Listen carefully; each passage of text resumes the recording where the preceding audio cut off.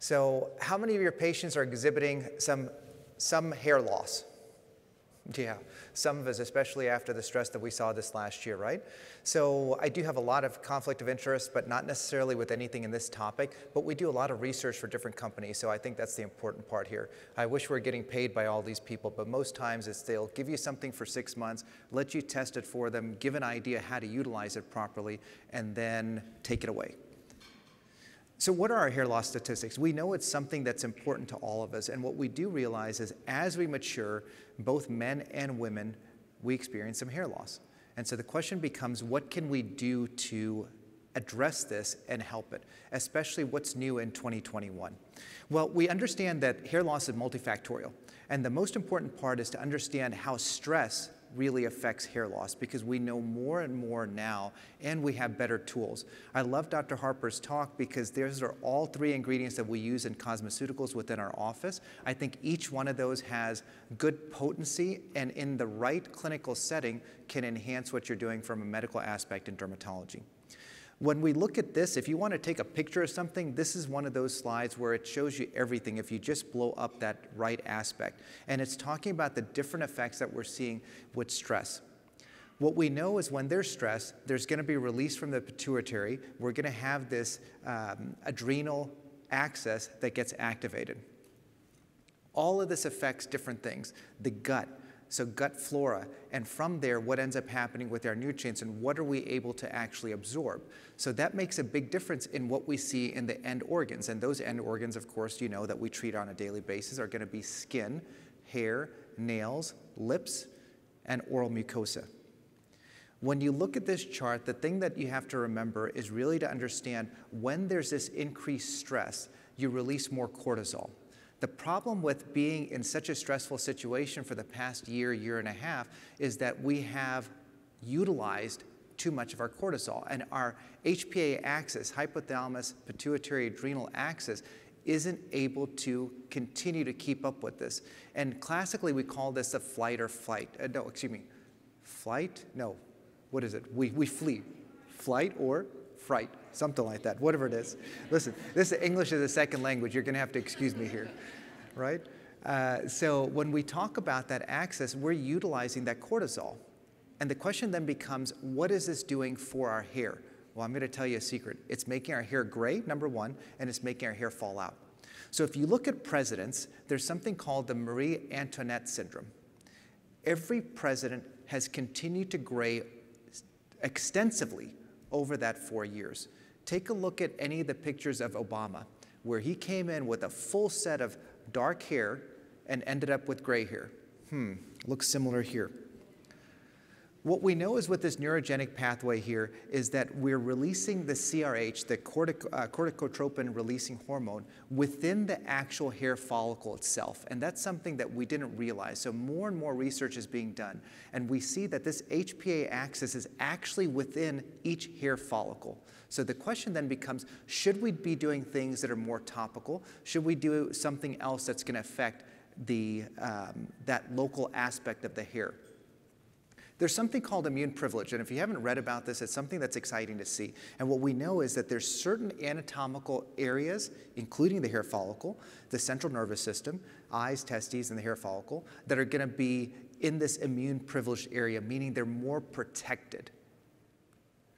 What we also know is that there's going to be something called substance P, which you all know about, and that's going to be released locally. That's going to then dysregulate this hair growth and hair growth cycle. And so it's all about understanding what stress can do to the hair, and that leads to growth arrest. Right? Apoptosis then gets formed, uh, gets uh, signaled, and then you're going to have follicular regression. And so we see this over and over and over. So the question then becomes how do we change that HPA axis? How do we decrease, in some cases, the uh, cortisol level? Or in some cases, how do we produce more cortisol to continue that balance and the proper balance? And so with stress, if you look at how it affects the various systems, all of this is going to be related to the end organs that we're talking about, which is hair, skin, and nails. We also talk about the stress gut. And what does that do? With increased stress, you're going to have increased gut permeability and you're going to have decreased proper absorption of some of the things that we're prescribing within our clinics for these patients. When you have decreased nutrient absorption, then you're going to have more deficiency in your hair itself. So the question then, of course, is what all of us want to know. All right, you told me all this nonsense. What can I do about it? Well, there's a few things that we can do. We know that there's hair transplant, and even with hair transplant, we have to understand how can we prep, how can we fertilize that scalp properly? What can we do within our clinics if you're not doing hair transplant in your clinic? Right, we have uh, minoxidil, we have finasteride, we have a combination of those two, and we have low level of light. And again, just like Dr. Harper, I'm a skeptic. Are these things going to work? Do they work better in combination? And so there was a publication that just got uh, sent out, I think it was this month, July 2021. Um, it's in either JDD or Derm Surg. I read all this nonsense on the plane, so they all get jumbled. So we take this multifactorial approach. How can we decrease the stress and how can we change that conversion of testosterone to dihydrotestosterone inside the end organ, which is the hair follicle? How can we decrease the oxidative stress and improve our circulation and nutrition? And one of those is something called stress adaptogens. And we're studying this more because this publication, one of these publications just from 2020 and January. And so it was actually published in Science. So Science and Nature, those are one of the few two uh, publications that I actually want to get into. And we got Science uh, published one time, but hopefully Nature at some point in time. We know that these stress adaptogens can change how our body reacts to stress. And what is a stress adaptogen? Well, it's just an adjustment of what we're doing for our internal uh, balance. One of those stress hormones is, since, uh, is ashwagandha. And what we say is, okay, we have Amazon now, we have Whole Foods in a lot of places, we have Trader Joe's. Can we go and just get some ashwagandha? You can, but there's a difference in something called Sensoril ashwagandha. And this too is sold, but it's proprietary. And it's a question of what we can do with that uh, to change that HPA axis. And we know that this can decrease elevated cortisol. And it also, the reason that this is so special, because all ashwagandha can decrease the cortisol level, but with the Sensoril ashwagandha, what we're finding is it can actually upregulate the production of cortisol in those who are not producing enough. Unique. What else can we do? Well, we have curcumin. And so curcumin, we, you guys all know about turmeric, and turmeric and what it does for the gut. It can actually decrease inflammation in the gut and possibly decrease the amount of colon cancer or the incidence of colon cancer. And if you have one of the derivatives of this, which is curcumin, and this you can order on Amazon, you're going to put all these together, and there's also some, some nutraceuticals that will have it all in one, one tablet. But curcumin is going to actually decrease TGF beta as well as TGF alpha and interleukin 1. And so what we're seeing is when you have decreased inflammation and you're using this in patients orally, we're finding that their joints improve, they are actually um, having less inflammation in the hair follicle, and this is done by biopsy studies, so we know there's something there. What else can we add? Saw palmetto. And I saw on this little app that we're, we all downloaded that somebody had asked about saw palmetto. Is it something that you have to test for? Because what is it doing? It decreases the conversion of testosterone to dihydrotestosterone.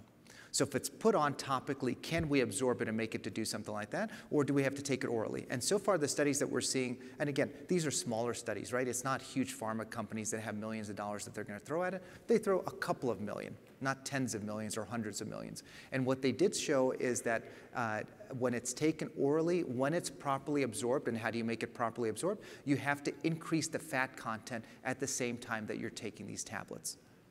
And depending on which company that you're going to use and which one has clinical trials and proper studies, you have to figure out do you take one tablet, two, three, or four, and do you take it all at one time? So I can tell you that this is very, very dose dependent, and you do have to, if you, depending on which company you're using, you have to take what they recommend all in one stage.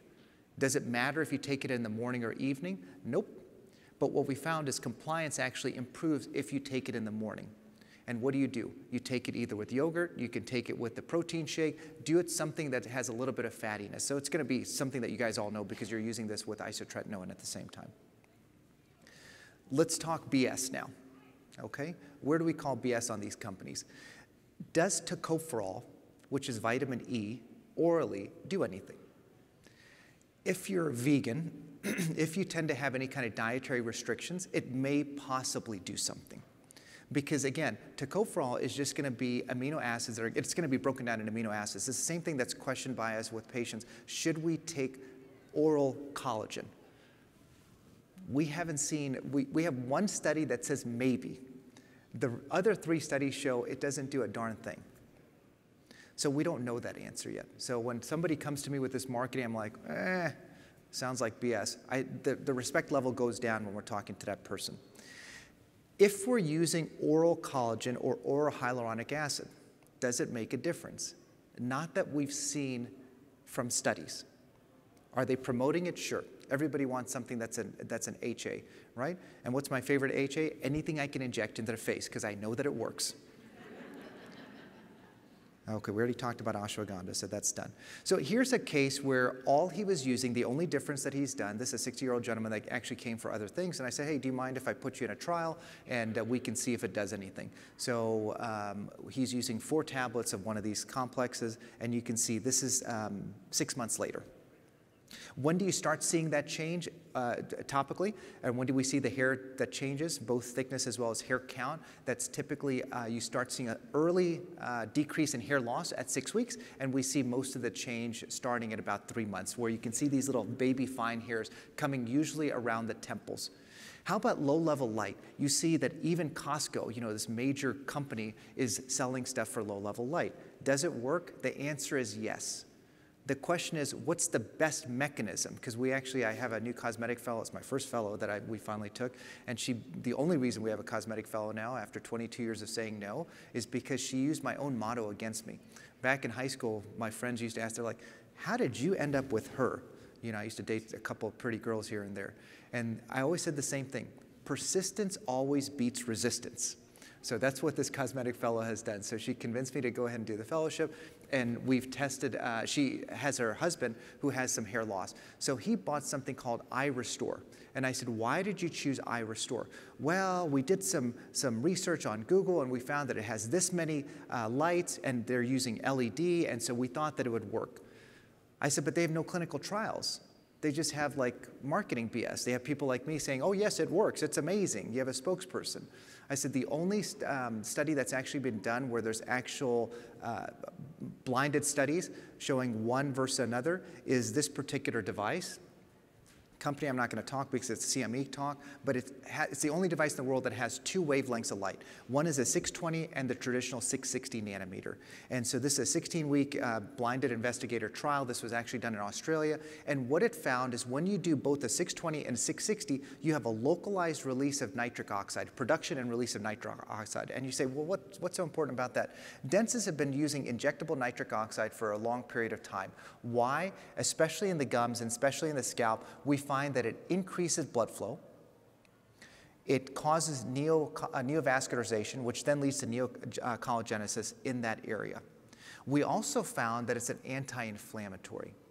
So with those, that should all at least theoretically improve what you're doing to the hair follicle. But it does one other thing inside the scalp. It affects that individual HPA axis and it decreases the conversion of testosterone to DHT locally.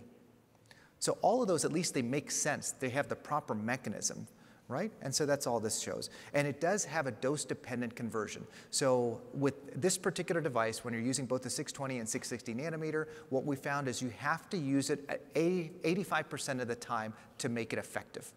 And the nice part is, with this particular device, you have a app, and so it tracks you. And do I have one of these? 100% I do. I brought it with me to Vegas. It's my little carry-on that I've got in a bag, and I am at 96% activity. The three days that I missed, two were because we had a big freeze in Houston. I forgot to put the damn thing on. And then, oh, I'm sorry, I missed four days. And two, because it was just past midnight, so it counts as the next day. It doesn't let you do it twice. What we found is there's a seven times uh, increase in the endogenous nitric oxide that's there uh, compared to a standard 660. Uh, and again, do the number of lights matter? Not necessarily. As long as you have even application, it shouldn't make any difference. The, and the next question that comes back from this is, does it make difference whether you use LED versus laser? Only because LEDs tend to be lighter, and so it's a little bit more comfortable if you're choosing one of these devices to, to purchase.